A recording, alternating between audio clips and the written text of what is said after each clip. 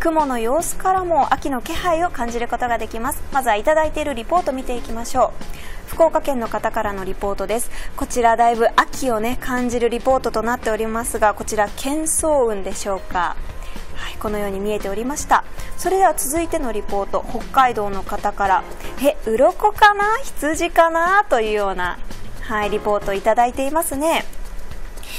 で魚の鱗のように見える鱗雲やモコモコの羊の毛のような羊雲なんですけれどもどちらも秋らしさを感じる雲ですが皆さんはこの2つの雲の違いをご存知でしょうか？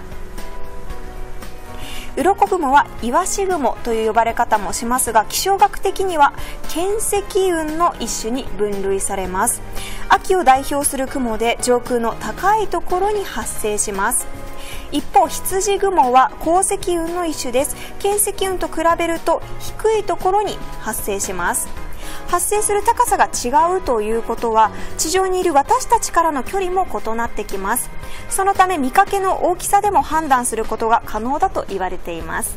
手を伸ばしてみてください。小指または人差し指を1本立てます。雲の塊が小指に隠れた場合は上空の高いところにできる巻積雲の可能性が高くなります。一方雲の塊が人差し指からもはみ出してしまうような場合であれば鉱石雲ということになります。